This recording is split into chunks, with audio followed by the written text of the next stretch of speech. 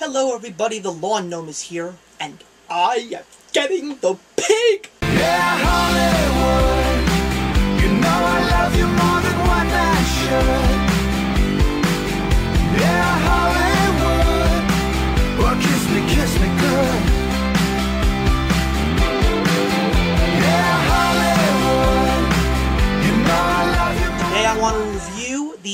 DC comic adapted sequel to the very surprising original film which came out just a couple of years ago, Red 2. Once again, we have the character, our good friend Mr. Bruce Willis, reprising his role as Frank Moses, finding out that there is now officially a new bounty on his head as he tries to lead a good life with his newly wed wife, played wonderfully by Mary Louise Parker. And sometimes we always find out that your greatest of friends can sometimes possibly be your biggest enemies. And basically, he has to get the band back together, if you will, sometimes forcefully by the other bandmates. I'm talking about John Malkovich, of course, playing his character Marvin Boggs once again. Absolutely fantastic. And it is once again another rip-roaring good time, a great follow-up to a very fun and enjoyable movie.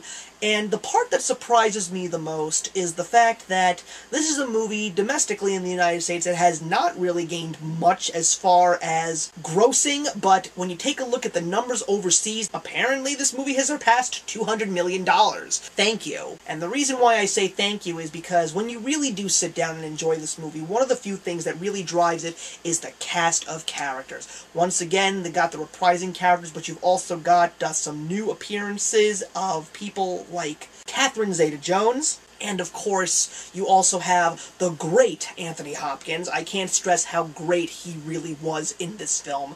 And of course, I completely forgot to mention Helen Mirren, who definitely has the, some of the best one-liners in the film.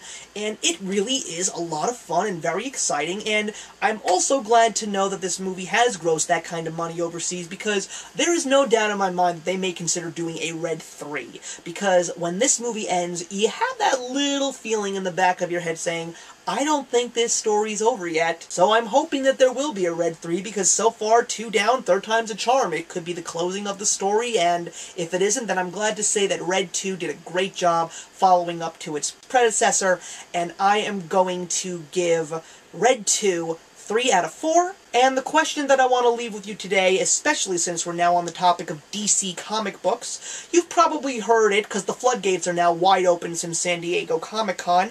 With the success of Man of Steel, the Zack Snyder Superman film, of course we all heard the big news that was announced at Comic Con, and that is Man of Steel 2, which is going to be released in 2015, is going to be co-starring none other than the Dark Knight himself. What are your thoughts on the fact that Batman is now going to be making an official appearance, and apparently a big role, in the next Man of Steel? Do you think that this is a really good thing as far as putting together the DC universe?